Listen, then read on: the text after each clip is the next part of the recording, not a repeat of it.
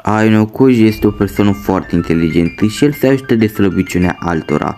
Pe lângă asta este un manipulator chiar foarte bun. Totuși, cum reușește toate astea? この世は勝つことが全てだ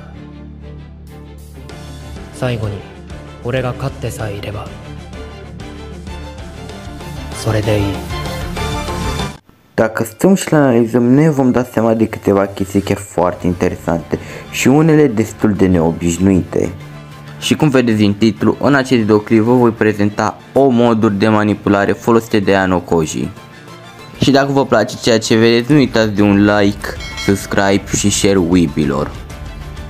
Acum, fără să mă mai lungesc, voi trece direct la subiect. Chiar din primul episod vedem cum Kayano Koji zice că nu are abilități și nici talente. Totuși îl vedem cum se uită afară sau indirect la noi publicul. Practic el își ascunde abilitățile față de oameni, dar și față de noi spectatorii. Ulterior, Ayano Koji merge la Horikita și admite că este nesigur dacă să meargă la cafenea și indirect îi cere ei să vină cu el.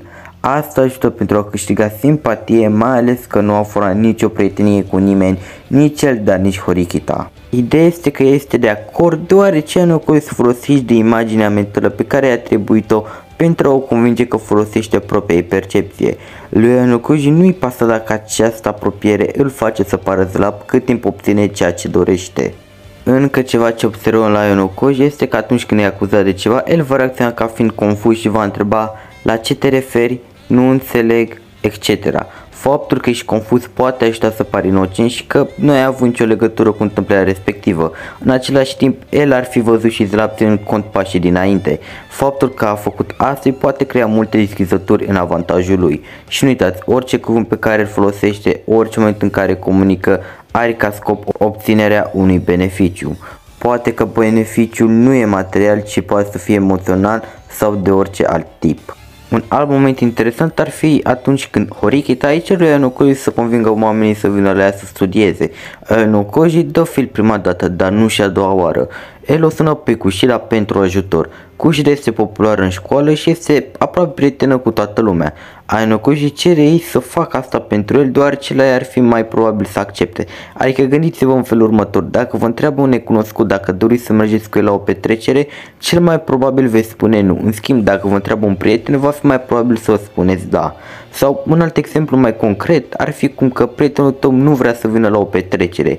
Ai putea să-i spui că va fi și crashul lui acolo sau orice altceva care lui place. Așa poate să fie mai mari șansele să vină. Totuși, Ayano Koji cum a convins-o pe Kushida să-l ajute? El a folosit imaginea sau portretul pe care Kushida îl preferă. Mai exact, imaginea ei este cum că ea să fie văzută ca prietenul tuturor. Un alt moment important e atunci când Ayano Koji și Kushida reușesc să facă rost de niște întrebări de la un test. Ayano Koji putea primi creditele pentru ajutor, totuși a dat toate creditele lui Kushida. Asta e pentru a nu atrage atenția asupra sa și pentru a nu fi descoperit. După, într-un alt episod, un coleg de al lor este acuzat de o bătaie cu cineva de la clasa vecină. Totuși, dacă e găsit vinovat, va fi matriculat.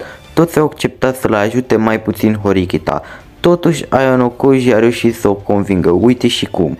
Ayano Koji știe că Horikita vrea să ajungă în clasa A, mai exact în cea mai bună clasă și știm cum că ea singură nu poate, nu e posibil ca o singură persoană să avanseze, ci doar toată clasa. Deci practic trebuie să-i ajuți pe ceilalți pentru a putea și tu să urci.